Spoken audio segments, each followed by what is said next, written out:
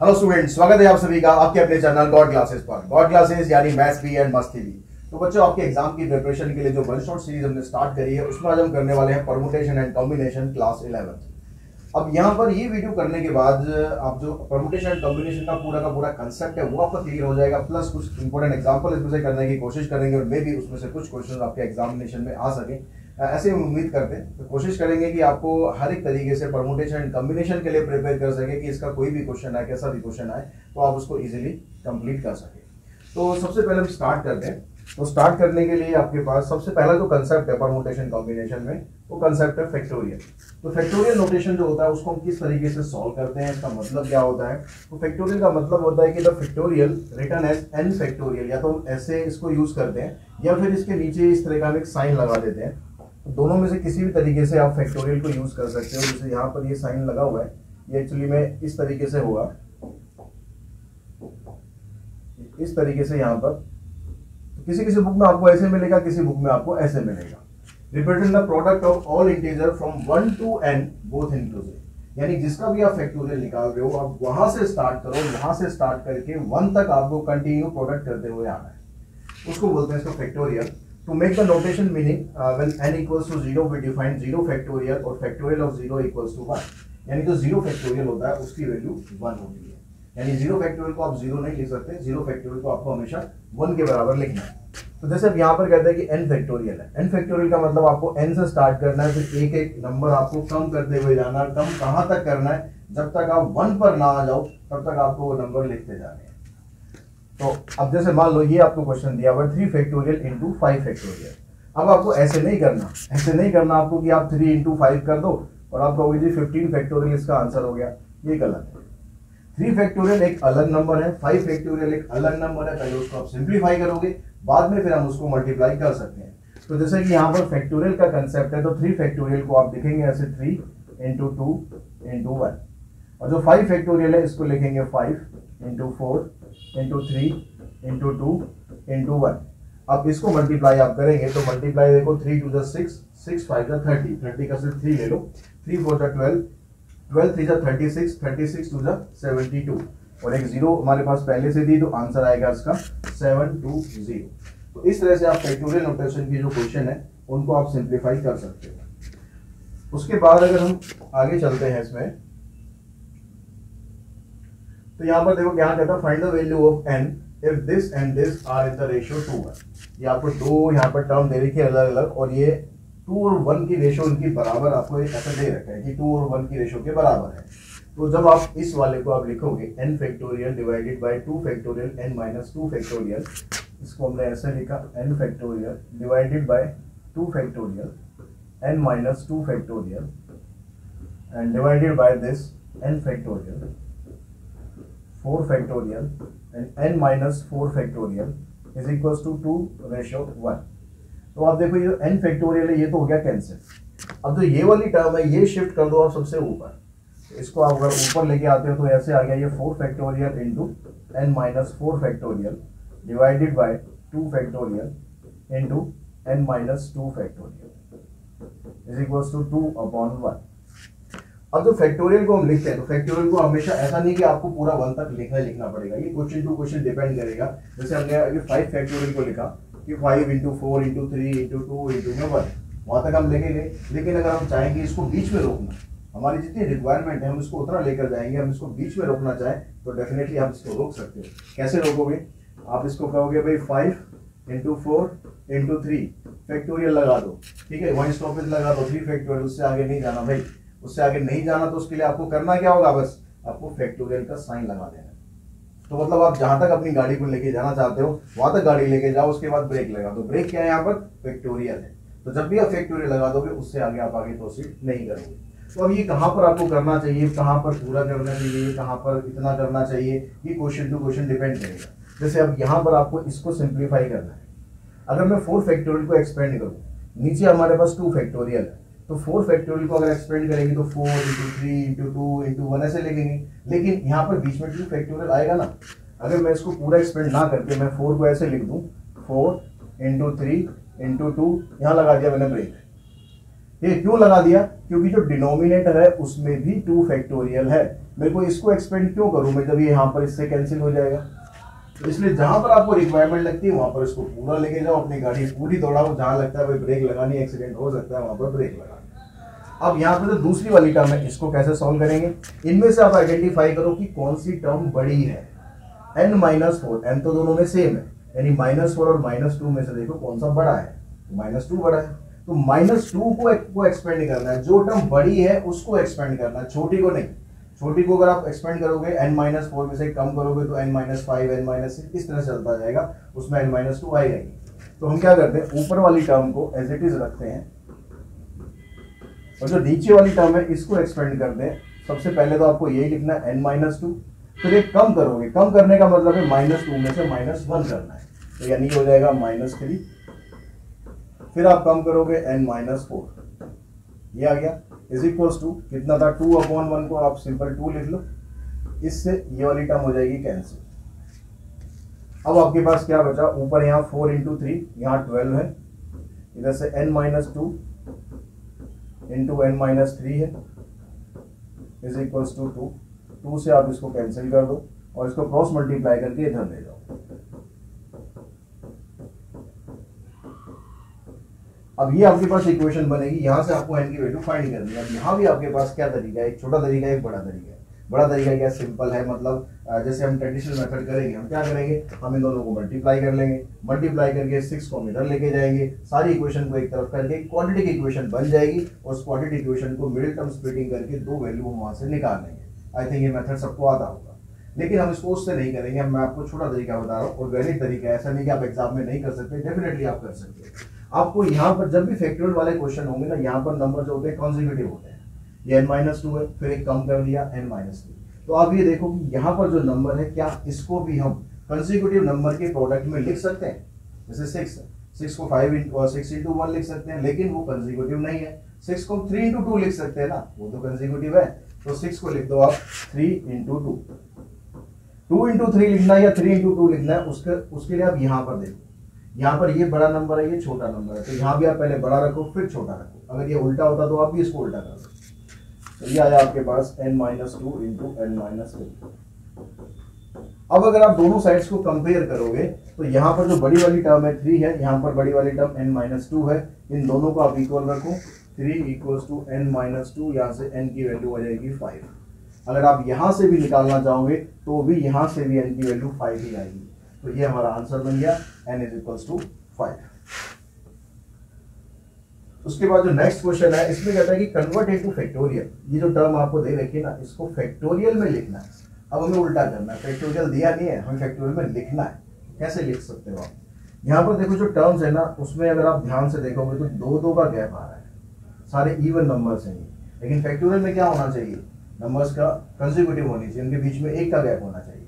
तो हम क्या करते हैं, इसको पहले एक का गैप बनाते हैं। कैसे बना सकते हो आप? टू कॉमन निकाल दो टू कॉमन निकाला तो यहाँ पर क्या बचा? One into two into three into four into five into six तो अभी क्या बन गया? अब लेकिन टू जो आप निकाल रहे हो ना, खाली ऐसे अगर आप लिखोगे तो फिर ये यहाँ पर गलत है। क्यों गलत है? उसका रीजन समझो। क्योंकि यहाँ पर मल्टीप्लाई है ये। अगर ये टर्म ऐसे लिखी होती two plus four plus six plus eight plus ten plus twelve फिर मैं इसमें से टू कॉमन निकाल के लिख देता ऐसे। तो भाई ठीक था। तो भाई ठीक था। लेकिन ये बहुत ही कॉमन मिस्टेक है। आप भी कॉमन ये मिस्टेक कर सकते हो। इसलिए मैं आपको बता रहा हूँ, इस चीज़ का ध्यान रखना। यहाँ पर ये मल्टीप्लाई में है।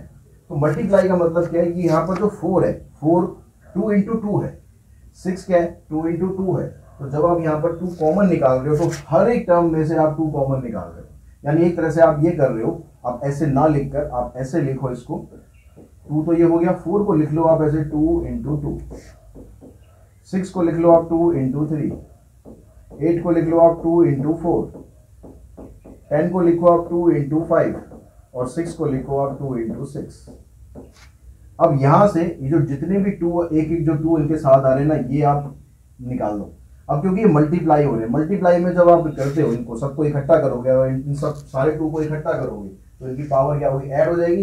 तो यहाँ पर कितनी बार टू आ रहा है? एक, दो, तीन, चार, पाँच छः तो यहाँ पर आ जाएगा टू की पावर सिक्स अब अंदर क्या बचेगा? अंदर यहाँ से वन बचेगा आपके पास। यहाँ से टू आ गया। यहाँ से थ्री आ गया। यहाँ से फोर यहाँ से फाइव यहाँ से सिक्स तो ये सही तरीका होगा, ना कि ये। इसलिए ध्यान रखना, ये बहुत ही कॉमन मिस्टेक है। बहुत बच्चे अक्सर ये गलती करते हैं। तो इसलिए आपको ध्यान रखना है यहाँ पर ये। तो टू की पावर सिक्स ये हो गया। अब ये क्या बन गया? One two three four five six continue number आ गए। कहाँ तक है ये? सिक्स तक है। मतलब ये सिक्स फैक्टोरियल के बराबर है। तो ये जो नोटेशन था, इसको फैक्टोरियल में अगर आप लिखोगे तो two raise to power six into में सिक्स फैक्टोरियल उसके बाद चलते हैं अपने नेक्स्ट कंसेप्ट पर। नेक्स्ट में फंडामेंटल प्रिंसिपल ऑफ़ काउंटिंग ये फंडामेंटल प्रिंसिपल ऑफ़ काउंटिंग क्या है? फंडामेंटल प्रिंसिपल ऑफ़ काउंटिंग करने के लिए, ये कहता है कि भाई इसमें देखो दो तरीके के रूल है। एक मल्टीप्लीकेशन रूल है और एक एडिशन रूल है। जो मल्टीप्लीकेशन रूल है, उसमें क्या है? कहता है certain thing may be done in M different way and when it has been done a second thing can be done in n different way then the total number of way of doing both things simultaneously equals to m into n. मतलब अगर आपको दो चीज़ें perform करनी है तो जो पहली वाली चीज़ को आप जितने तरीके से कर सकते हो और दूसरी वाली चीज़ को जितने तरीके से कर सकते हो, उन दोनों को कर देना मल्टीप्लाई ये बहुत कॉमन कंफ्यूजन है कि मल्टीप्लाई आएगा बीच में या प्लस आएगा। तो इस चीज़ को ध्यान से आप समझ लोगे तो मल्टीप्लाई और प्लस का आपका कंफ्यूजन बिल्कुल खत्म हो जाएगा।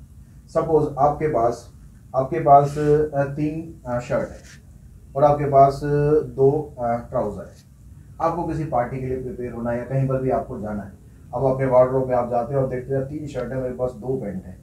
तो क्या, किसके साथ में क्या कॉम्बिनेशन बनाओ तो कितने तरीके ऐसे होंगे कि जब आप वो कॉम्बिनेशन बना सकते हो? उसके लिए आपको क्या करना पड़ेगा? आपको दो आपके पास तीन शर्ट है।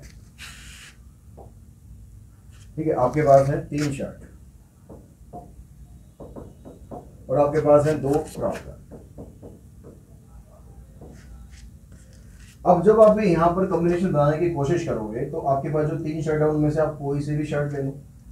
ठीक है मतलब मैंने मान लिया कि शर्ट वन आपने ले उधर से आपने ट्राउज़र वन ले लिया। तो shirt one and trouser one यानी कितना हो गया आपके पास? एक पेयर कंप्लीट हो गया। एक तरीके से आप पहन सकते हो। अगर मैं शर्ट वन को ट्राउज़र टू के साथ पहन लूँ तब भी तो पेयर बन सकता है ना।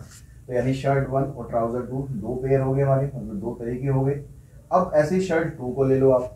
शर्ट टू के साथ ट्राउज़र वन हो सकता है शर्ट टू के साथ ट्राउज़र टू हो सकता है। ऐसे शर्ट थ्री के साथ ट्राउज़र वन और शर्ट थ्री के साथ ट्राउज़र टू यानी टोटल मिलाकर छह ऑप्शन आपके पास है कि आप अपने आप को प्रिपेयर कर सकते हो उस ट्राउज़र से और शर्ट से।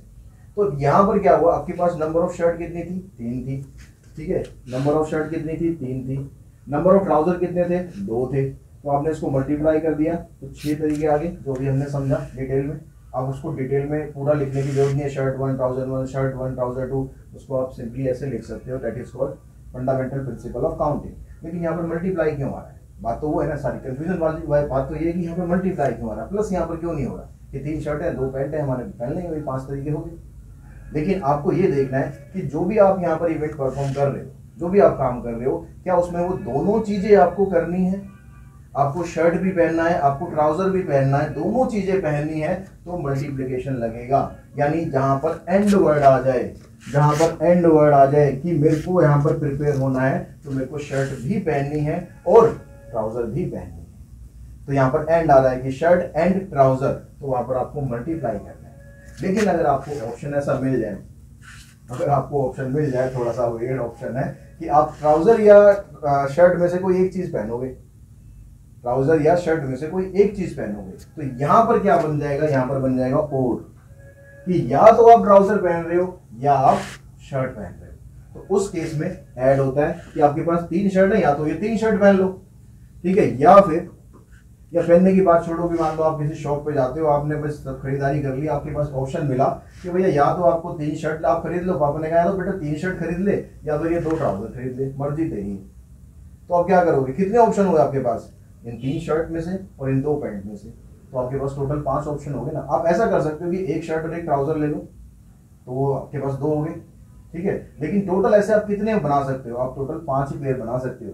कि आप चाहे कैसे भी कर लो, तीन शर्ट में से आपको एक शर्ट सिलेक्ट करनी पड़ेगी और इन ट्राउज़र में से आपको एक ट्राउज़र सिलेक्ट करना पड़ेगा। यानी टोटल पाँच तरीके आपके पास बनेंगे जब आप कोई चीज़ वहाँ से खरीद सकते ठीक है? तो इस तरह से आपको समझना है कि या तो आपके पास जब भी या वर्ड आ जाएगा ना ऑप्शन आ जाएगा कि ऐसे भी हो सकता है, ऐसे भी हो सकता है तो आपको प्लस लगाना है। और अगर ऐसे आ जाएगी दोनों चीज़ें ही कर रही हैं तो मल्टीप्लाई आ जाएगा। यानी ये वर्ड ध्यान रखना and means multiply or means add or means add तो ये दोनों चीज़ें ध्यान रखोगे तो कभी कंफ्यूज नहीं होगे कि आपको मल्टीप्लाई करना है या फिर ऐड करना है।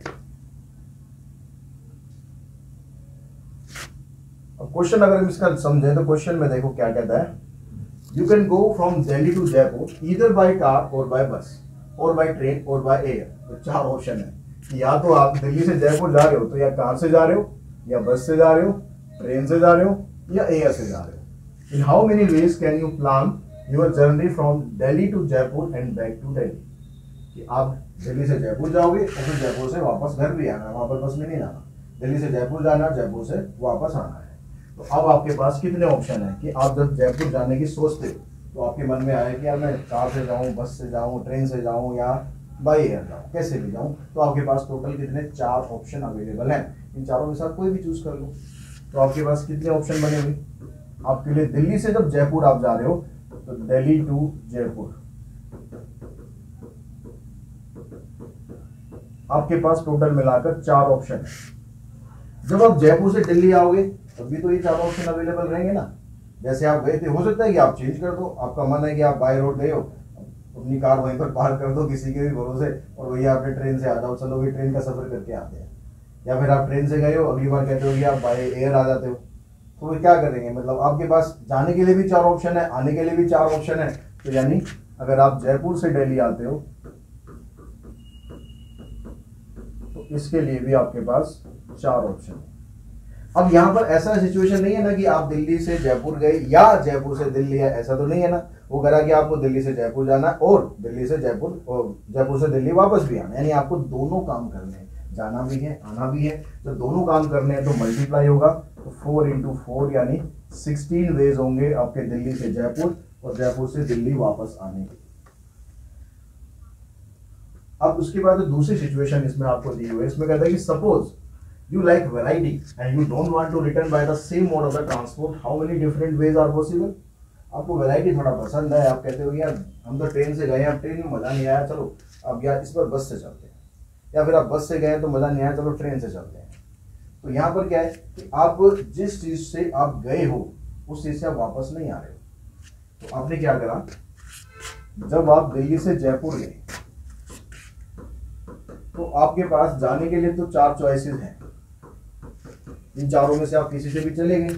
लेकिन जब आप वापस आते हो तो जिससे आप जिससे आप गए थे ना, उससे आप वापस नहीं आए अगर आप बस से गए थे तो आप बस से वापस नहीं आओगे। दैट मीन्स आपका एक ऑप्शन आने का कम हो गया। तो जब आप जयपुर से दिल्ली आओगे, जयपुर टू दिल्ली तो आपको ऑप्शन मिलेंगे सिर्फ़ तीन। क्योंकि जिस ऑप्शन से आप गए थे, वो ऑप्शन आपने खत्म कर दिया। उससे वापस आने का आपका मन नहीं है। उसको आपने छोड़ दिया तो आप कितने ऑप्शन बने? फोर इंटू थ्री यानी आ गया twelve how many automobile licence plate can be made if each plate contain two different letters two different letters followed by three different digit एक ऑटोमोबाइल लाइसेंस प्लेट कितने तरीकों से आप बना सकते हो? अगर उसके अंदर दो आपको डिफरेंट अल्फ़ाबेट लेने हैं और उसके बाद तीन डिफरेंट डिजिट्स लेने हैं। अब यहाँ पर जब आप अल्फ़ाबेट की बात करते हो, आपको नंबर प्लेट में पाँच नंबर आपको लिखने हैं। मतलब पाँच चीज़ों से मिलकर नंबर बनेगा। ठीक है, कुछ दो अल्फ़ाबेट हैं और तीन डिजिट्स हैं। तो जब हम पहले अल्फ़ाबेट की बात करते हैं, यानी पहले इस प्लेस की बात करते हैं तो आपको इस प्लेस को फिल करने के लिए कितने अल्फ़ाबेट होते हैं हमारे पास? ट्वेंटी सिक्स होते ना। कोई फाउंडेशन तो नहीं है ना कि आपको ये नहीं रखना, वो नहीं रखना। तो लगा कि आज कुछ भी रखो, लेकिन डिफरेंट होनी चाहिए। तो पहले प्लेस पर ट्वेंटी सिक्स अल्फ़ाबेट होंगे। उसके बाद फिर उसने क्या बोला? यहाँ पर जो वर्ड है उसको ध्यान देना डिफरेंट बोला है उसने। डिफरेंट का मतलब है कि जो अल्फ़ाबेट आप यूज़ कर चुके हो ना, वो आपको दोबारा यूज़ नहीं करना भाई। दोबारा यूज़ नहीं करना। तो आपको क्या करना है? जो यहाँ दूसरे वाला प्लेस है, उस पर 25 अल्फ़ाबेट जो बचेंगे, उन 25 अल्फ़ाबेट में से आप कुछ भी रख लो। लेकिन रिपीट नहीं आपको करना है। उसके बाद फिर क्या होगा? Followed by three digit digit कितनी होती है? डिजिट वन से काउंट मत करना। डिजिट जब भी काउंट करेंगे ज़ीरो से काउंट होते हैं। ज़ीरो से लेकर नाइन तक। यानी टोटल मिलाकर दस डिजिट होता है। तो उन दस डिजिट में से आप कुछ भी रख लो यहाँ पर। दस में से कोई भी डिजिट रख लो। लेकिन यहाँ पर भी उसने वर्ड जो यूज़ किया हुआ है डिफरेंट वर्ड यूज़ किया हुआ है। तो इसका मतलब जब आप अगले प्लेस के लिए डिजिट रखोगे तो जो डिजिट आपने पहले यूज़ कर ली है, उसको आप छोड़ दोगे। अब उसके अलावा कितनी बचेंगी? Nine digit बचेंगी। जब अगले प्लेस के लिए आप जाओगे तो एट डिजिट बचेंगी। और इन सबको कर देंगे मल्टीप्लाई तो आपका आंसर आ जाएगा। तो मल्टीप्लाई करके आंसर बन रहा है हमारा four six eight triple zero four six eight triple zero तो इस तरीके से आप जो नंबर प्लेट वाला मामला है, इतनी नंबर प्लेट आप बना सकते हो और आपके पास सिर्फ़ पाँच ही चीज़ें लिखनी है, लेकिन ऑप्शन कितने हो गए four lakh sixty eight thousand. इतनी नंबर प्लेट आप बना सकते हो। उसके बाद अगर नेक्स्ट कंसेप्ट की बात करें नेक्स्ट आ जाता फिर परमोटेशन अब यहाँ पर आपको परमोटेशन का मतलब क्या है? पहले मतलब समझ लेते हैं। The number of ways of arranging or selecting smaller or equal number of person or object from a group of person or collection of object with due regards being paid to the order of the arrangement or selection are called permutation. मतलब मोटी मोटी बात ये है कि जो भी आपको चीज़ें यहाँ पर दी गई हैं, उनसे आपको कुछ अरेंजमेंट्स करनी है। अब वो अरेंजमेंट जब आप करोगे तो आपको ये ध्यान रखना है कि उनका ऑर्डर यहाँ पर क्या कह रहा है कि with due regard being paid to the order of arrangement मतलब यहाँ पर ऑर्डर मैटर करता है। ऑर्डर मैटर करने का मतलब क्या हुआ? कि अगर आप मान लो कोई दो दो अल्फ़ा दो आपके पास लेटर्स हैं, उनसे आप कोई वर्ड बनाना चाहते हो। तो अगर आप वर्ड बनाओगे ए बी ये एक वर्ड काउंट होगा। अगर आप करोगे बी ए वो भी एक नया वर्ड काउंट होगा। यानी टोटल मिलाकर आप दो वर्ड बना सकते हो। तो ऑर्डर मैटर करने का मतलब है कि अगर ए पहले प्लेस पर था, उसका ऑर्डर अगर आपने चेंज कर दिया तो एक नई फॉर्मेशन बनेगी, एक नया अरेंजमेंट बनेगा। इसका मतलब होता है कि आप ऑर्डर को यहाँ पर महत्व दे रहे हो उसको नेग्लेक्ट नहीं कर रहे हो उसको महत्व दे रहे हो। हमें ये ऑर्डर वाला कंसेप्ट काम आएगा जब हम ये समझ में सम, जब हम कॉम्बिनेशन भी समझ लेंगे ना क्योंकि क्वेश्चन में कंफ्यूजन कई बार ये होता है परमुटेशन लगाए या कॉम्बिनेशन लगाए। वहाँ पर ये चीज़ आपके काम आएगी कि जो आप अरेंजमेंट करने वाले हैं उसमें क्या ऑर्डर मैटर करता है? अगर ऑर्डर मैटर करता है तो परमुटेशन लगाओ ऑर्डर मैटर नहीं करता है तो कॉम्बिनेशन लगाओ जो हम आगे अभी पढ़ेंगे। अब यहाँ पर फार्मूले इसके कुछ हैं। इनकी ज़्यादा डिटेल में मैं नहीं जा रहा हूँ। फार्मूले आप याद कर लेंगे। ठीक है, पहला फार्मूला है एन पी एन मतलब जितने आपके पास ऑब्जेक्ट हैं, अगर आपको उतने ही यूज़ करने हैं। आपके पास पाँच ऑब्जेक्ट हैं, वो पाँचों ही यूज़ करके आपको कोई भी फॉर्मेशन करनी है तो उसका परमोटेशन बनेगा एन फैक्टोरियल जो एन पी आर का फार्मूला होता है एन पी पी आर का मतलब क्या है कि आपको जो टोटल एन ऑब्जेक्ट्स हैं, उसमें से आप आर ले रहे हो। सारे नहीं ले रहे हो आर ले रहे हो। मान लो आपके पास दस ऑब्जेक्ट है, दस में से आप पाँच यूज़ करना चाह रहे हो। तो आप लिखेंगे टेन पी फाइव। ठीक है? अब उसका फार्मूला क्या होगा? N factorial divided by n minus r factorial zero factorial हमने ऑलरेडी डिस्कस किया, ये वन के बराबर होता है। Number of permutation of n distinct objects taken are at a time when a particular object is not taken in any arrangement ये कह रहा है कि आपके पास n ऑब्जेक्ट तो है, लेकिन जब आप अरेंजमेंट बनाना चाह रहे हो तो आप एक पर्टिकुलर उससे आपको एलर्जी उससे आपको एलर्जी है, उस ऑब्जेक्ट को आप लेना नहीं चाहते। जैसे मान लो अल्फ़ाबेट है, छब्बीस अल्फ़ाबेट होते हैं, पर आप कहते हो कि यार नहीं, जो मेरे नाम का अल्फ़ाबेट है ना मैं इस अरेंजमेंट में यूज़ नहीं करना चाहता। तो आपने क्या करा, जो अपने नाम का अल्फ़ाबेट है, वो आपने हटा दिया। अब आपके पास कितने बचेंगे? ट्वेंटी फाइव बचेंगे ना। तो उस ट्वेंटी फाइव के हिसाब से आपको परमुटेशन बनानी है। तो फॉर्मूला क्या बना? N minus one P r number of permutation of r object out of n distinct object when a particular object is always included in any arrangement ये कह रहे हैं कि भाई, आप जो भी अरेंजमेंट आप बनाना चाहते हो, उसमें से एक पर्टिकुलर ऑब्जेक्ट तो हमेशा ही उसमें रहेगा। यानी अब आप ये कह रहे हो कि भाई, जो आपके नाम का अल्फ़ाबेट है ना, वो तो मैं रखूँगा ही रखूँगा, चाहे कुछ भी हो जाए। तो अब उसमें क्या होगा टोटल में से भी आपके कम हो गए। टोटल ट्वेंटी सिक्स थे, लेकिन वो कम हो गए, क्योंकि आपने एक तो कह दिया भैया, ये तो रहेगा ही रहेगा, इसमें कोई कंप्रोमाइज नहीं होगा, ये तो रहेगा ही रहेगा। तो वो आ गया आपके पास, यानी एन माइनस वन हो गए। और जो आपने ऑब्जेक्ट लेने थे, मान लो आपको उसमें से पाँच ऑब्जेक्ट लेने थे पाँच में से आपने कहा भाई ये मेरे नाम का अल्फ़ाबेट तो रहेगा ही रहेगा, कोई उसमें कंप्रोमाइज नहीं होगा। तो एक अल्फ़ाबेट आपने वहाँ से कम कर दिया, यानी आपके पास रहेगा टोटल चार। क्या हो रहा भाई, बड़े नोटिफिकेशन आ रहे तो यानी आपके पास जो नंबर ऑफ़ परमोटेशन आ जाएगा n minus one P r minus one उसके बाद फिर नेक्स्ट में कहता है कि permutation when some of the things are alike taken all at a time यहाँ पर कह रहा है कि कुछ ऑब्जेक्ट्स ऐसे हैं जो सारे के सारे एक जैसे नहीं है। ठीक है, जो भी आप, जिसमें से आप ऑब्जेक्ट्स चूज़ करना चाह रहे हो ना, वो सारे एक जैसे नहीं है। मान लो, हम कहते हैं कि जो ट्वेंटी सिक्स अल्फ़ाबेट है। मैंने कहा कि भाई, मुझे वोवल लिख लेना है। अब वोवल लेना है तो वोवल में तो ए आई ओ यू पाँच हो गए ना। तो पाँचों किसमें कंसिडर होंगे? वोवल्स में कंसिडर होंगे। ऐसे अगर मैं कॉन्सोनेंट लूँगा तो बाकी के सारे जो कॉन्सोनेंट हो गए या फिर आप और थोड़ा सिंपल में समझो, जैसे मैं कोई अडिशनल बनाना चाहता हूँ मेरे पास एक वर्ड है इंस्टीट्यूट अब इंस्टीट्यूट में से कौन कौन से लेटर ऐसे जो रिपीट हो गए तो आई रिपीट हो रहा है उसमें, कितनी बार रिपीट हो रहा है वो काउंट कर लेंगे टी उसमें शायद रिपीट होगा। तो जो जो वर्ड रिपीट हो रहे हैं मतलब ये कह रहे हैं कि यहाँ पर सारे के सारे एक अलग अलग नहीं है, उनमें से कुछ ऐसे हैं जो रिपीट हो रहे हैं। तो जो रिपीट हो रहे हैं, उनका जो फैक्टोरियल है वो नीचे आ जाएगा। टोटल आपको एन फैक्टोरियल लेना है और जो रिपीट हो रहे हैं, उनके फैक्टोरियल आपको अलग अलग करके यहाँ पर नीचे लिख देना है। अभी क्वेश्चन करेंगे, आपको वो क्लियर हो जाएगा। Permutation when each thing may be repeated once twice upon r times in any arrangement अब यहाँ पर कह रहा है कि अगर जो ऑब्जेक्ट आप लेना चाह रहे हो ना कि वो आर टाइम्स रिपीट हो रहा है तो आपके पास सीधा सीधा फार्मूला क्या बन गया? N raise to power r तो ये सारे फार्मूले परमोटेशन के थे जो आपको याद कर लेने अब इससे रिलेटेड कुछ क्वेश्चंस होंगे, उनको समझ लेते हैं। देखिए, इस क्वेश्चन में कहता है कि in how many ways can four red three yellow and two green disc can be arrange in a row if disc of the same colour are indistinguishable यानी इसका मतलब कहने का, इस वर्ड का मतलब क्या है कि जो चार रेड बॉल है ना, उन चार रेड बॉल वो चार के चारों ऐसी हैं कि आप उसे अलग अलग नहीं कर पा रहे हो, कौन सी रेड है? और red one red two red three red four ऐसा नहीं है। तो रेड है तो वो रेड है। मतलब यहाँ पर एक तरह से क्या हो रहा है? रिपीटेशन हो रहा है। रेड का रिपीटेशन हो रहा है। कितनी बार हो रहा है? चार बार हो रहा है। और तीन येलो है। येलो का रिपीटेशन हो रहा है दो बार। ग्रीन का रिपीटेशन हो रहा है दो बार। और आपको अरेंजमेंट करना है, आपको डिस्क को अरेंज कर करके रखना है। तो आप कितने तरीके से आप अरेंज कर सकते हो? तो यहाँ पर कितने ऑब्जेक्ट बने आपके पास टोटल चार, तीन, सात सात और दो, नौ। टोटल आपके पास ऑब्जेक्ट है नाइन ठीक है तो नंबर ऑफ़ परमोटेशन क्या बनेगा इसका? नंबर ऑफ़ परमोटेशन तो नाइन है आपके पास नाइन फैक्टोरियल आ गया एन फैक्टोरियल और जिसमें क्या था? जिसमें रिपीटेशन होता है उसमें क्या था कि जो भी चीज़ रिपीट हो रही है, उसके फैक्टोरियल आपको नीचे लिखने हैं। तो आप कैसे लिखोगे भाई? Four factorial three factorial and two factorial ऐसे नहीं करना, चार, तीन, सात और दो दो नौ फैक्टोरियल ऐसे नहीं करना। सबका अलग अलग करना है आपको। अब यहाँ पर नाइन फैक्ट इसको सिंप्लीफाई कर दो।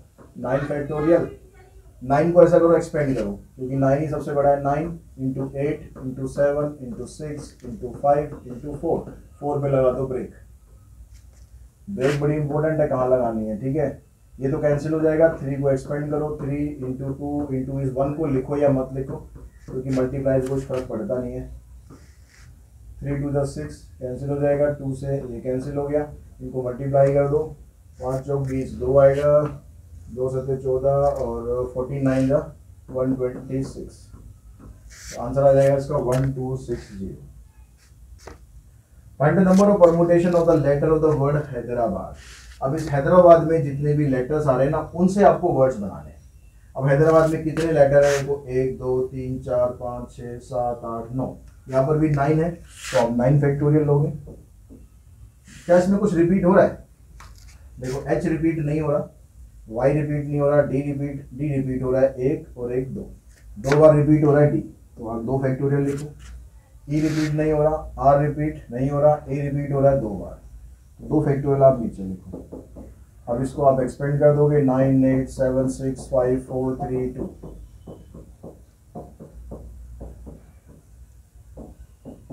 दूसरा टू फैक्टोरियल है उसकी वैल्यू टू ही होती है। इससे कैंसिल ये आप इससे कैंसिल कर दो। इन सबको मल्टीप्लाई कर देंगे। तो मल्टीप्लाई करके बन रहा है nine zero seven two zero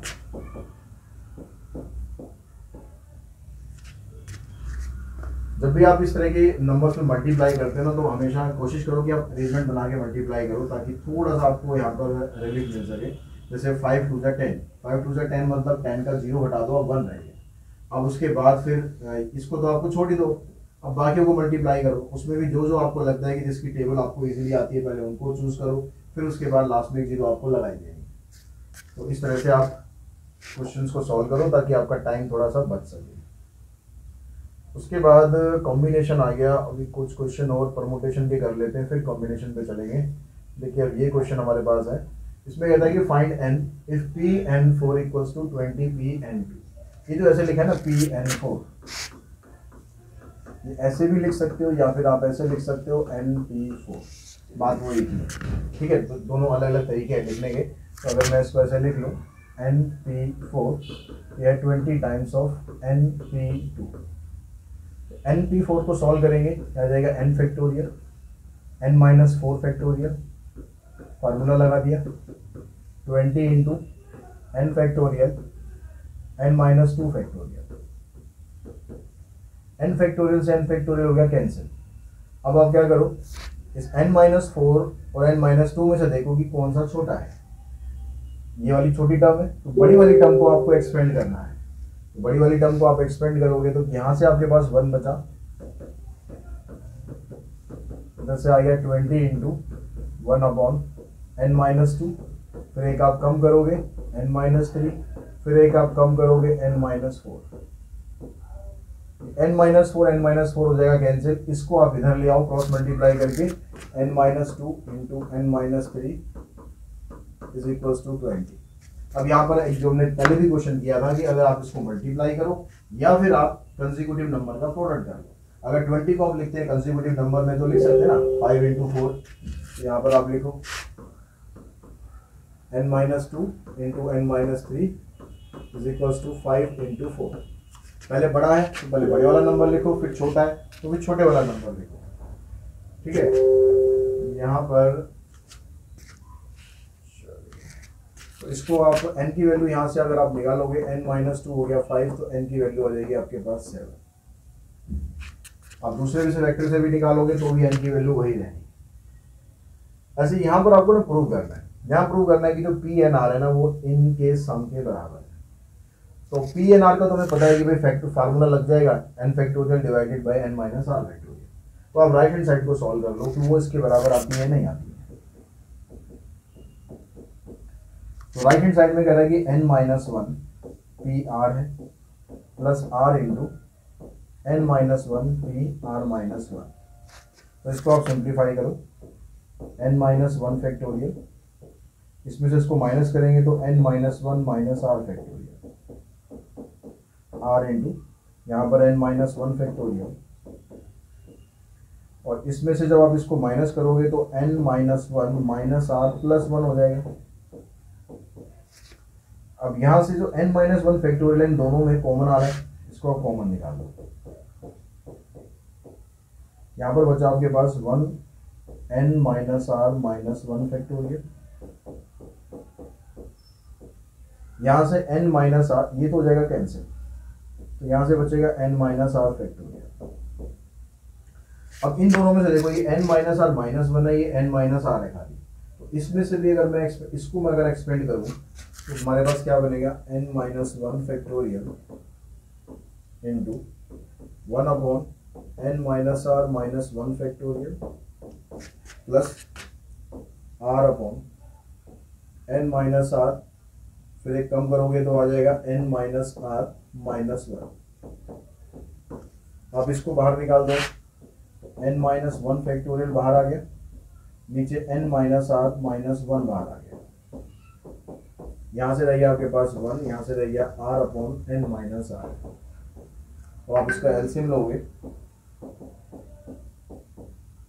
अगर आप इसका एल्सियम लोगे तो आपके पास ऊपर आ जाएगा एन माइनस आर प्लस में r divided by n minus r इससे ये कैंसिल हो गया। तो आपके पास जो बचा, आपके पास ये बचा n minus one factorial into में n n minus r minus one factorial into में एन माइनस आर अब अगर आप इसको देखो तो ये इस तरह से हो जाएगा एन फिर उससे एक हमने कम कर दिया एन माइनस वन फैक्टोरियल यानी इन दोनों को अगर मैं इकट्ठा करूँ तो इन दोनों को मैं लिख सकता हूँ ऐसे एन फैक्टोरियल ठीक है, अगर मैं एन फैक्टोरियल लिख रहा हूँ किसी भी नंबर को तो एक्सपेंड मैं कैसे करूँगा इसको? पहले एन लिखेंगे, फिर एक कम करेंगे एन माइनस वन तो ये चीज़ लिखी हुई ना यहाँ पर, बस आगे पीछे लिखी हुई है तो उससे फ़र्क पड़ेगा नहीं मल्टीप्लाई में तो। ऐसे यहाँ पर एन माइनस आर फिर एक कम करेंगे तो n minus r minus one यानी आप इसको एन माइनस आर का फैक्टोरियल लिख सकते हो। और ये जो वैल्यू होती है, यही एन पी आर का फार्मूला होता है। तो ये बराबर हो गया आपके पास लेफ़्ट हैंड साइड इस तरीके से आप ये क्वेश्चन सॉल्व कर सकते हैं।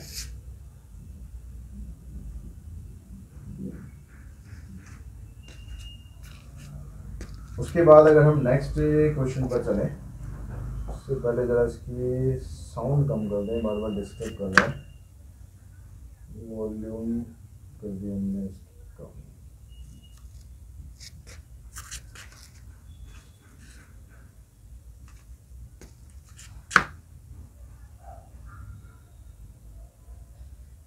उसके बाद देखिए अब जो नेक्स्ट क्वेश्चन हमारे पास, इस क्वेश्चन के अंदर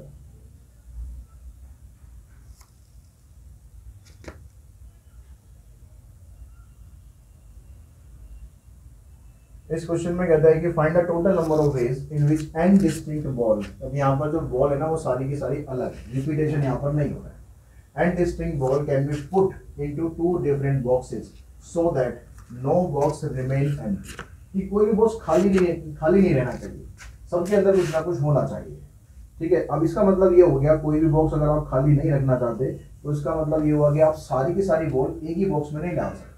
क्योंकि अगर आपने सारी बॉल एक ही बॉक्स में डाल दी तो दूसरा वाला खाली हो जाएगा, लेकिन वो कोई खाली नहीं होना चाहिए। तो पहले हम ये देखते हैं कि जैसे आप इसमें क्वेश्चन में कह रहा है कि आपके पास ना दो डिफरेंट बॉक्सेज है। तो ये हमारे पास एक बॉक्स मान लो एक ये है। छोटा सा बॉक्स ये है, एक बॉक्स हमारे पास ये बन गया। अब ये बॉक्स आपके पास दो हैं अब मैं पहली वाली बॉल लेकर गया। अब मैं जो पहली वाली बॉल लेके जाता हूँ। मान लो मैं यहाँ पर आ गया। अब मैं सोच रहा हूँ, यार इसमें डालूँ या इसमें डालूँ? इस बॉक्स में डालूँ। तो मेरे पास इस बॉल को डालने के लिए कितने ऑप्शन है? दो ऑप्शन है। तो यानी पहली बॉल जब मैं लेके गया तो मेरे पास दो ऑप्शन आए उस बॉल को बॉक्स के अंदर डालने के लिए। ठीक है? अब मैं जब दूसरी बॉल लेके जाऊँगा, तब क्या मेरे ऑप्शन खत्म हो जाएँगे? तब भी रहेंगे ना। तो दोनों दोनों बॉक्स तो वही के वही है, ये कहीं नहीं जाने वाले।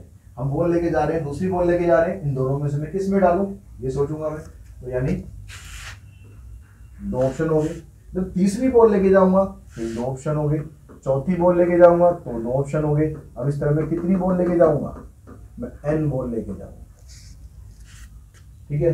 यानी इन सबको अगर आप सॉल्व करोगे मल्टीप्लाई हो रहा है तो इनकी पावर ऐड हो जाएगी तो ये तो बन जाएगा two raise to power n यानी हम जब भी बॉल लेके जा रहे हैं तो हमारे पास हर बॉल के लिए दो ऑप्शन है। अब लेकिन इसमें थोड़ा सा आपको ध्यान देना पड़ेगा, क्योंकि इसने क्वेश्चन में बोला है कि कोई भी बॉक्स खाली नहीं रहना चाहिए। तो अगर बॉक्स मैं सारी की सारी बॉल एक ही बॉक्स में अगर डाल दू, मान लो, मैं सारी की सारी बॉल एक ही बॉक्स में डाल तो number of ways to put all balls in one box इसके लिए मेरे पास कितने ऑप्शन होंगे? मैं सारी की सारी बॉल एक एक करके इसमें डालता या फिर मेरे को भाई, मैं ये थोड़ी ना कि मेरे को भाई इसी के, इसी से कुछ ज़्यादा प्यार है, मैं इसमें भी तो डाल सकता हूँ। तो यानी मेरे को सारी बॉल डालने के लिए दो ऑप्शन अवेलेबल है। कि या तो मैं सारी की सारी बॉल इसी बॉक्स में डाल दूँ, या मैं सारी की सारी बॉल इसी बॉक्स में डाल दूँ। तो यानी दो ऑप्शन यहाँ पर होंगे। और ये वाली कंडीशन हमें फॉलो करनी नहीं है, क्योंकि हमने क्या करना है, कि दोनों बॉक्स में से कम से कम एक बॉल तो ज़रूर होनी चाहिए ना। तो यानी जो टोटल नंबर ऑफ़ विंस थे, उसमें से आपको ये वाले माइनस कर देने तो नंबर ऑफ़ परमोटेशन क्या बनेगा? Number of permutation equals to two raise to power n minus two ये हमारा आंसर होगा नेक्स्ट क्वेश्चन पे चलते हैं। यहाँ पर कहता है कि to attend a joint summit two countries and five delegates each to a negotiating table a rectangular table is used with five chairs on each side एक टेबल हमारे पास है, सब एक टेबल बना देते हैं। एक टेबल हमारे पास ये आ गई। अब इसके दोनों तरफ़ पाँच चेयर्स हैं। एक, दो, तीन, चार, पाँच। एक, दो, तीन, चार, पाँच। ठीक है जॉइंट समिट होना है। दो कंट्रीज़ हैं, उन्होंने अपने पाँच डेलीगेट भेज दिए नेगोशिएशन करने के लिए। अब कहता है कि if each country is assigned a long side of the table अब हर एक कंट्री जो है ना टेबल की एक साइड पे कर दी मान लो मैं कहता हूँ कि यहाँ पर इंडियन डेलीगेट्स आ गए। और यहाँ पर पाकिस्तान, पाकिस्तानी से तो हम आजकल बात ही नहीं कर रहे ना। नहीं तो दो मान लो यहाँ पर आगे अमेरिकन आ गए, या रशियन आ गए।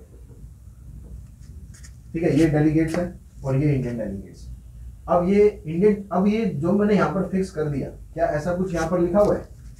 ऐसा कुछ तो नहीं लिखा ना। यहाँ पर कह रहा कि each country assign in long side of the table एक साइड जो है उसको असाइन है। तो इंडिया वाले जो डेलीगेट्स आएँगे अगर उनको मैं यहाँ पर बिठाना चाहूँ, यहाँ भी बिठा सकता हूँ। मैं यहाँ बिठाना चाहूँ, यहाँ बिठा सकता हूँ। तो मेरे पास कितने ऑप्शन है? दो ऑप्शन है। कि चाहे मैं तो भाई यहाँ पर बैठ लो, चाहे यहाँ पर बैठ लो। तो दोनों ऑप्शन अवेलेबल है। तो यानी अब चाहे एक तो हमारे पास क्या आ गया कि अमेरिकन को यहाँ बिठा दिया, इंडियन को यहाँ बिठा दिया। आप कैसे भी कर लो मतलब आपके पास दो ऑप्शन अवेलेबल रहेंगे। एक चीज़ तो ये आ गई अब दूसरी बात। हमारे पास पाँच डेलीगेट्स हैं। अब उन पाँचों डेलीगेट्स को हमें बिठाना है। अब उनको बिठाने के लिए आपके पास जो टेबल है, वो भी तो पाँच ही है ना बस। अब पाँच ही है तो मान लो जो पाँच डेलीगेट्स आएँगे, उनको मैं मान लो इस वाली चेयर पे बिठा दूँ, या इस चेयर पे बिठा दूँ, या इस पे बिठा दूँ, या इस पे किसी पे भी बिठा सकते हैं मतलब पाँचों ऑप्शन अवेलेबल है। पाँच डेलीगेट्स आने, और हमारे पास पाँच ही यहाँ पर प्लेसेस हैं तो फाइव पी फाइव मान लो इंडियन डेलीगेट्स को मैंने यहाँ पर बिठा दिया, पाँच डेलीगेट्स आए, और मेरे पास बिठाने के लिए पाँच ही ऑप्शन थे अवेलेबल पाँचों के पाँचों यूज़ करने मान लो यहाँ पर छह सीट होती तो हम लिख देते सिक्स पी फाइव ये छह सीटें लेकिन हमें पाँच यूज़ करनी है। लेकिन पाँच सीटें पाँचों यूज़ करनी है, और इसको फाइव पी फाइव का मतलब हम सीधा लिख सकते हैं फाइव फैक्टोरियल ऐसे जो ये वाले डेलीगेट्स आएँगे, इनके पास भी पाँच ही सीट है और पाँच ही डेलीगेट्स हैं तो इनका भी ये आ जाएगा फाइव फैक्टोरियल और दोनों का टोटल अरेंजमेंट मिलाकर, चाहे मैं इंडियंस को यहाँ बिठाऊं, चाहे इंडियंस को यहाँ बिठाऊं तो दो ऑप्शन मेरे पास यहाँ पर आएँगे तो यानी दो फैक्टोरियल ये आ गया। अब क्योंकि हमें क्या करना है? ये सारा काम करना है। ऐसा तो नहीं ना कि या तो हम इसको बिठा दें, या हम इसको बिठा दें, या फिर हम ये वाला काम कर लें। ऐसा तो नहीं करना। हमें ये भी बिठाने हैं। फाइव फैक्टोरियल हमें ये भी बिठाने हैं। फाइव फैक्टोरियल और हमें ये भी करना है। चाहे हम इसको यहाँ बिठाएँ, चाहे हम इसको यहाँ पर बिठाएँ। लेकिन करना तो पड़ेगा ना। अगर ये इंडियंस यहाँ बैठेंगे तो अमेरिकन यहाँ बैठेंगे। मतलब दोनों ऑप्शन आपको लेने पड़ेंगे। तो इसलिए इन सबको आपको करना है multiply five factorial one twenty के बराबर होता है, ये भी वन ट्वेंटी होता है। वन ट्वेंटी वन ट्वेंटी मतलब one four four zero zero आ जाएगा। उसको टू से मल्टीप्लाई कर लोगे तो आ जाएगा आपके पास दो ज़ीरो आ जाएगी, दो चौका आठ, दो चौका आठ, दो। Twenty eight thousand and eight hundred. ये आपका आंसर आ जाएगा। उसके बाद चलते हैं जो कंसेप्ट हमारा है अब कॉम्बिनेशन कॉम्बिनेशन का जो कंसेप्ट है, उसके फार्मूलेज आप समझ लो, पहले कंसेप्ट समझ लेते हैं। अब कॉम्बिनेशन में क्या होता है? जैसे हमने परमुटेशन में समझा कि ऑर्डर यहाँ पर मैटर करता है। अगर आपने ऑर्डर को वैल्यू नहीं दी आपने ऑर्डर को फॉलो नहीं करा तो आपका आंसर गलत आएगा।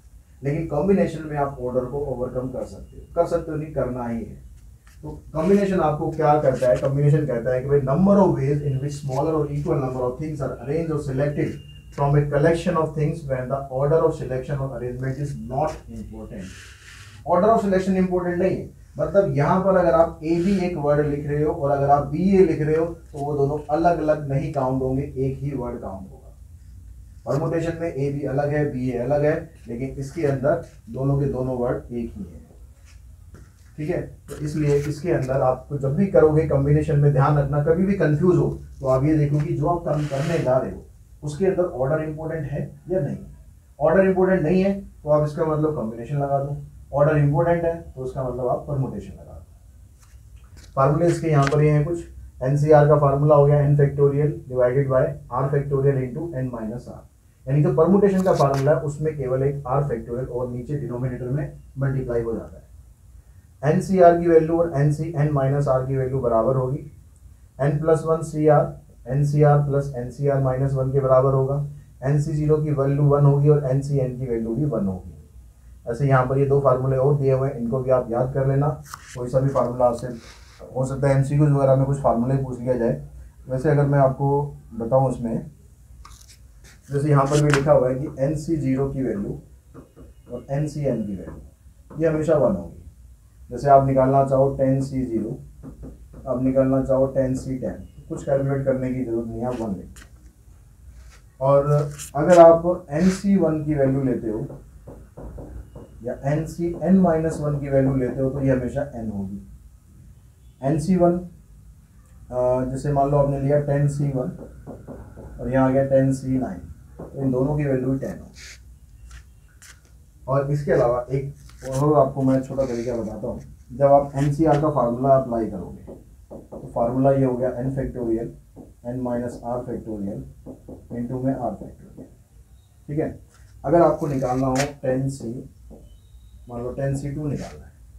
तो उसको हम कैसे लिखेंगे ten factorial ten minus two eight factorial और फिर टू फैक्टोरियल इसको आप सॉल्व करोगे ten into nine into eight factorial divided by eight factorial into two factorial इससे कैंसिल करोगे तो आपके पास इसको सॉल्व कर दोगे आंसर आपका आ जाएगा। अब इसी चीज़ को आप थोड़ा सा छोटा कर सकते हो। कैसे छोटा कर सकते हो?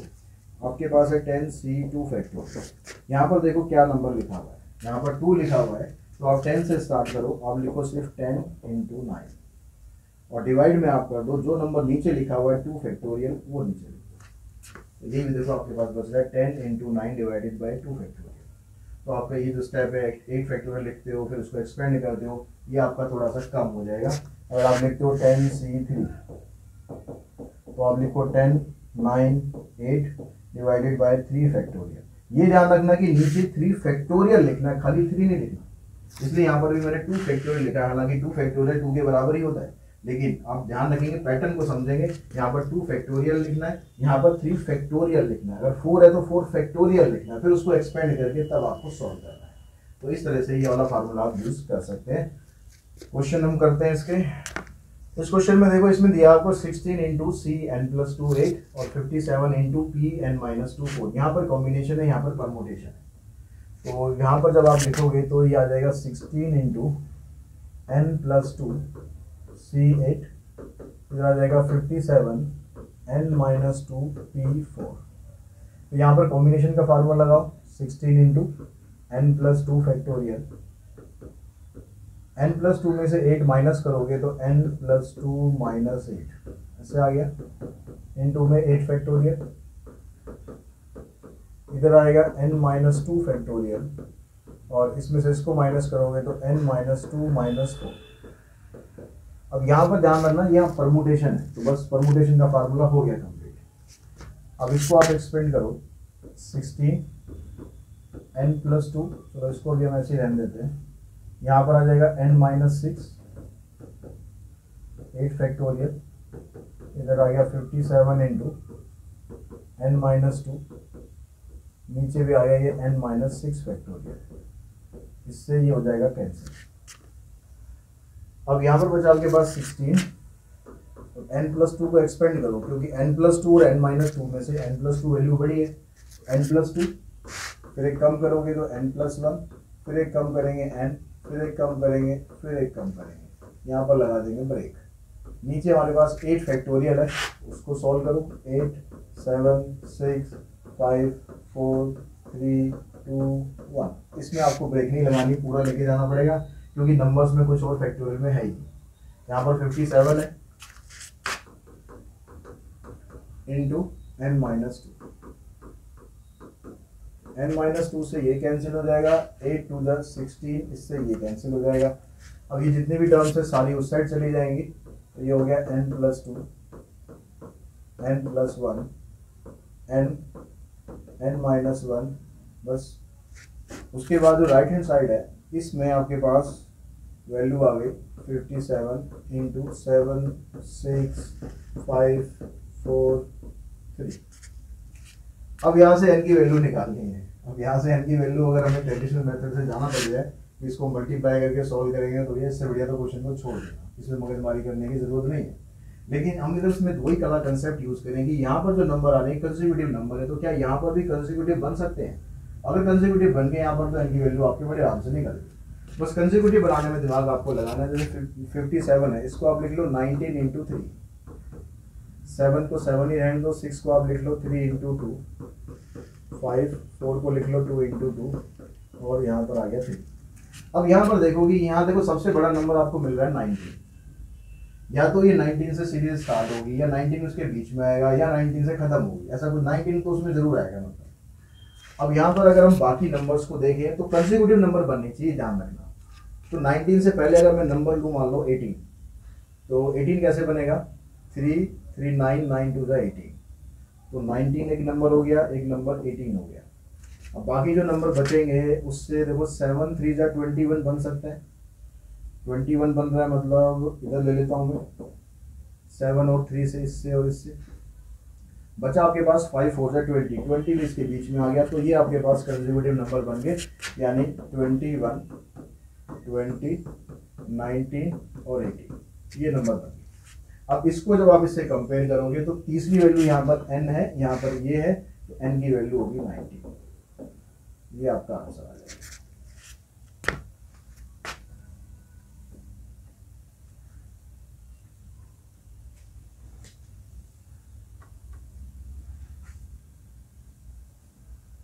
उसके बाद जो नेक्स्ट क्वेश्चन है आपके पास, उस नेक्स्ट क्वेश्चन में देखो। नेक्स्ट क्वेश्चन देखिए, इसमें कहता है n C four n C five and n C six are in AP ये तीन टर्म है, ये एपी के अंदर। तो आपने एपी वाले कंसेप्ट में अगर पढ़ा हो तो तीन टर्म अगर एपी में होती, जैसे अगर हम लिखते हैं कि भाई A B C are in AP इसका मतलब क्या होता है, जो बीच वाली टर्म है ये, इसका अगर हम डबल करते हैं तो ये इन दोनों के सम के बराबर होता है। तो यही कंसेप्ट आप यहाँ पर यूज़ करो, जो बीच वाली टर्म है, इसका डबल हम करेंगे टू एन सी फाइव तो ये बराबर होगा n C four plus n C six के। अब इसमें फार्मूला लगाओ two n factorial n minus five factorial n five factorial is equal to n C four लगाएँगे n factorial n minus four factorial और फोर फैक्टोरियल इधर आ जाएगा n factorial n minus six factorial and six factorial n factorial तो यहाँ पर भी है, यहाँ पर भी, यहाँ पर भी, दोनों साइड से कॉमन निकल के कट जाएगा। उसको तो आप खत्म कर दो। अब बाकी जो n minus five n minus four n minus six इसमें से देखो जो सबसे छोटी टर्म है वो कौन सी है? तो हमने देखा भाई सबसे छोटी इसमें माइनस सिक्स है। तो जो भी है n minus five n minus four इन दोनों को एन माइनस सिक्स में कन्वर्ट करो। तो ये ऊपर टू था, इसको रखो ऐसे ही। एन माइनस फाइव को लिखो एन माइनस फाइव एक कम करेंगे तो एन माइनस सिक्स यहीं पर छोड़ दो। और ऐसे फाइव फोर और सिक्स में से फोर सबसे छोटा है तो फाइव को एक्सपेंड कर लेंगे ऐसे यहाँ से ये कॉमन निकल गया। एन माइनस फोर को एक्सपेंड करो। एन माइनस फोर फिर एन माइनस फाइव और फिर एन माइनस सिक्स और फोर फैक्टोरियल को आप ऐसे रहेंगे इधर से ये ऊपर कॉमन निकल गया। एन माइनस सिक्स को तो ऐसे ही रहने दो। यहाँ से आ जाएगा सिक्स फाइव एंड फोर अब डिनोमिनेटर में से एन माइनस सिक्स और four factorial n minus six और four factorial n minus six और फोर फैक्टोरियल कॉमन निकाल दो। और जो बचा आपके पास, यहाँ से बचा two upon five into n minus five is equals to यहाँ बचा आपके पास one upon n minus four into n minus five plus यहाँ पर बच गया one upon six into five thirty ये वाली टर्म है, इसको आप इधर ले आओ। ये बनेगा आपके पास two upon five into n minus five minus sign one upon n minus four into n minus five is equals to one upon thirty LCM लेंगे। एल्सियम में फाइव भी आ जाएगा एन माइनस फाइव भी आ जाएगा और एन माइनस फोर भी आ जाएगा। यहाँ पर तो ये दोनों टर्म इससे कैंसिल एन माइनस फोर को टू से मल्टीप्लाई कर दो तो आ गया टू एन माइनस एट इधर से n minus four n minus five दोनों कैंसिल हो जाएँगे फाइव आ जाएगा इधर आ गया वन अपॉन थर्टी इस फाइव से इसको कैंसिल कर देना। ऊपर आ गया आपके पास टू एन माइनस ये फाइव है टू एन माइनस थर्टीन नीचे दोनों को मल्टीप्लाई करेंगे तो बनेगा n square minus nine n plus twenty is equals to one upon six cross multiply करो, इसको मैं वन से करूँगा तो आ जाएगा n square minus nine n plus twenty six को इन दोनों से करेंगे, सिक्स टू ज़ा twelve, thirteen six seventy eight. सारी टर्म्स को आप एक तरफ़ करो। यहाँ पर वो कंटिन्यूस प्रोडक्ट वाला यहाँ पर नहीं बन रहा केस तो यहाँ पर तो आपको इक्वेशन बनानी पड़ेगी। N square minus twenty one n और इस फोर्स को ऐड करोगे तो 98 स्प्लिटिंग बड़े टर्म करके दो फैक्टर बना लेंगे। एक फैक्टर एन माइनस फोर्टीन आएगा और एक फैक्टर एन माइनस सेवन आएगा। एन की वैल्यू 14 भी हो सकती है और एन की वैल्यू सेवन भी हो सकती है। ये दोनों वैल्यूज़ पॉसिबल है इसकी, दोनों वैल्यूज़ ही आपके आंसर हैं।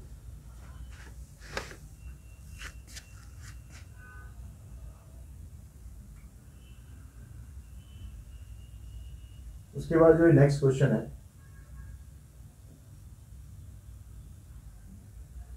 नेक्स्ट क्वेश्चन में देखते हैं कि जो, यहाँ कहता है कि polygon has 44 diagonals find the number of its side एक पॉलीगन है, उसके अंदर नंबर ऑफ़ डायगोनल्स 44 है। तो नंबर ऑफ़ डायगोनल्स हम निकाल कैसे सकते हैं? उसका फार्मूला क्या रहता है नंबर ऑफ़ डायगोनल्स का? देखिए जैसे आप कोई क्वाड्रिलेटरल बनाते हो। क्वाड्रिलेटरल के अंदर चार साइड होती है। अब इसके अंदर डायगोनल ये दोनों होते हैं। तो डायनल बनाने के लिए आपको कितने वर्टेक्स चाहिए होते हैं? डायनल बनाने के लिए आपको दो वर्टेक्स चाहिए होते हैं, तभी डायनल बनेगा। अब यहाँ पर ए बी आप डायनल लिखो या डायनल बी ए लिखो डायनल तो एक ही माना जाएगा। मतलब ऑर्डर यहाँ पर मैटर नहीं कर रहा है। तो आप चाहे ए बी लिखो, चाहे बी ए लिखो, बात एक ही है। तो इसका मतलब कॉम्बिनेशन लगेगा। अब एक डायगोनल बनाने के लिए आपको दो पॉइंट चाहिए। अगर आपके पास टोटल पॉइंट तो टोटल पॉइंट मान लो चार है। तो मैं इसको कैसे लिखूँगा? अभी चार मेरे पास पॉइंट है और डायगोनल बनाने के लिए मुझे दो पॉइंट चाहिए, यानी फोर सी टू तो नंबर ऑफ़ डायगोनल आएँगे लेकिन इसमें एक थोड़ा सा ट्विस्ट है। ट्विस्ट क्या है? कि जब आप ये साइड्स लोगे ना, ये साइड्स ये डायगोनल थोड़ी ना काउंट होगी, ये तो साइड्स है इसकी। डायगोनल तो ऐसे क्रॉस में जाएगा। तो जितनी इसकी साइड्स हैं, उतनी ही टर्म आप यहाँ से माइनस कर दो। यानी चार में यहाँ से माइनस कर दो। अगर मैं फोर सी टू को सॉल्व करूँगा तो ये बनेगा फोर इंटू में three divided by two factorial direct formula लगा रहा हूँ मैं ठीक है? माइनस फोर तो टू फैक्टोरियल टू होता है। Two three six six minus four two तो आपके पास टू डायगोनल आ गए तो मतलब अगर आपके पास एन नंबर ऑफ़ साइड है, जैसे इस क्वेश्चन में हमें साइड्स नहीं पता हमने मान लिया कि भाई n नंबर ऑफ़ साइड्स हैं। तो डायगोनल बनाने के लिए हमें यहाँ पर दो वर्टेक्स चाहिए। और उसमें से हम एन साइड्स को माइनस कर देंगे, क्योंकि वो डायगोनल काउंट नहीं होती है। और इस तरह मिलाकर आपके पास 44 डायगोनल्स हैं। अब इसको आप सॉल्व कर दो। n factorial n minus two factorial two factorial minus n is equals to forty four इसको एक्सपेंड करो आप एन फिर एक कम करोगे एन माइनस वन फिर एक कम करोगे एन माइनस टू नीचे एन माइनस टू फैक्टोरियल यहाँ पर आ गया two minus n equals to forty four इससे ही हो गया कैंसिल अब यहाँ पर एल्सियम लोगे तो एल्सियम तो टू आ जाएगा. ऊपर ये टर्म रहेगी n square minus n multiply करके लिख दो. और एल्सियम लेके यह माइनस टू एन आएगा divided by two equals to forty four तो ये बना आपके पास n square minus three n equals to eighty eight इसको आप इधर लाओगे. एटी एट के दो फैक्टर करेंगे, जिसको माइनस करने पर थ्री आ जाए। तो सीधा ये इलेवन और एट हो गए। तो फैक्टर बनेंगे दो, यानी एन माइनस इलेवन बनेगा, और एन प्लस एट एन की वैल्यू यहाँ से इलेवन आएगी और यहाँ से माइनस एट आएगी। माइनस एट वाली वैल्यू को कैंसिल कर देना, क्योंकि नेगेटिव है। एन की वैल्यू आएगी इलेवन यानी इलेवन साइड जिसकी होंगी, उस ट्राइंगल के number of diagonal forty four उसके बाद नेक्स्ट क्वेश्चन में कहता है कि everybody a room shakes hand with everybody else room के आप अंदर आप जाते हो, मान लो हॉल है, उसके अंदर आप सबसे हैंड शेक करते हो। अब आपसे पूछ रहे हैं कि the total number of shake hand is 66 यहाँ पर जो total number of shake hand है, वो 66 है। तो how many people are there in the room उस रूम के अंदर कितने लोग हैं? तो यहाँ पर अब जब हैंड शेक आप करते हो, जैसे मैं किसी पर्सन के पास जाऊँगा हैंड शेक करूँगा मतलब मैं आपके पास आऊँ हैंड शेक करूँ तो हैंड शेक कितने काउंट होंगे? मैं आपके पास आऊँ या आप मेरे पास आऊँ? हैंड शेक तो यही काउंट होगा ना? यानी यहाँ पर भी कॉम्बिनेशन लगेगा। हमने मान लिया कि हमारे पास रूम के अंदर एन नंबर ऑफ़ पीपल है। हैंडशेक करने के लिए आपको दो लोगों की ज़रूरत है। ऐसा तो नहीं कि अकेले मैं हैंडशेक कर लूँ मेरा हैंडशेक हो गया। ठीक है हैंडशेक करने के लिए दूसरा आदमी चाहिए हमें। तो एक हैंडशेक बनाने के लिए आपको दो लोग चाहिए। तो एन सी टू अब इस तरह से आपके पास टोटल नंबर ऑफ़ हैंडशेक आ गए। लेकिन इस क्वेश्चन में टोटल नंबर ऑफ़ हैंडशेक आपको दिया हुआ सिक्सटी सिक्स अगर निकालने होते तो मतलब जितने भी लोग हैं, वो यहाँ ऊपर तो सी टू करके फाइनल आंसर आपका आ जाएगा। तो अब यहाँ पर देखो n factorial n minus two factorial two factorial equals to sixty six तो इसको एक्सपेंड करो आप n n minus one n minus two n minus two into में टू आ जाएगा वो। आप कर दो, इसको इससे कैंसिल टू को आप इधर ले जाओ।